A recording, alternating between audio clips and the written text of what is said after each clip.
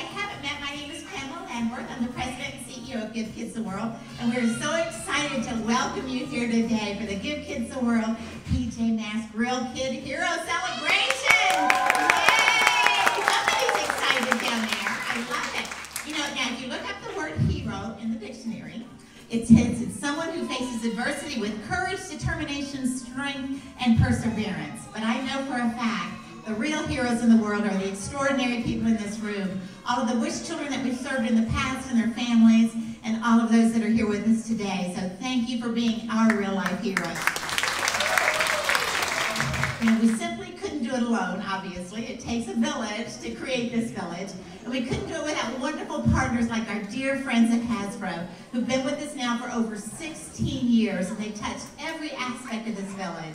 They also provide all of the gifts and toys that we give out every Thursday when we have our Winter Wonderland celebration. And Santa and his elves can't keep up with it, so Hasbro takes care of it and gives us all those wonderful toys. Look at them. Don't they look amazing?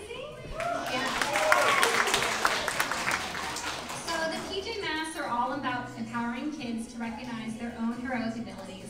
Just like Catboy, Owlette, and Gecko, Madison, Kellen, and the other kid heroes here today are strong and courageous, even through difficult times.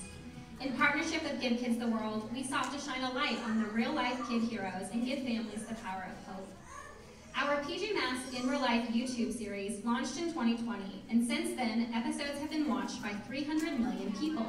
We love seeing Madison's and Kellen's imaginations come to life in their very own heroic episodes. On behalf of the PJ Masks, we are honored to present the very first Kid Hero Awards to both Madison and Callan, as long as these goodies as well.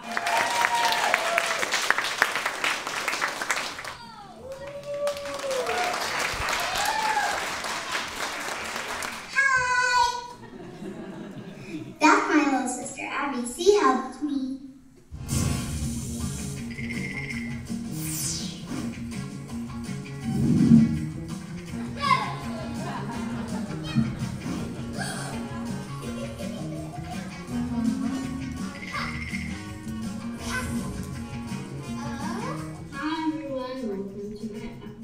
of PJ Masks in Real Life. I hope you like it.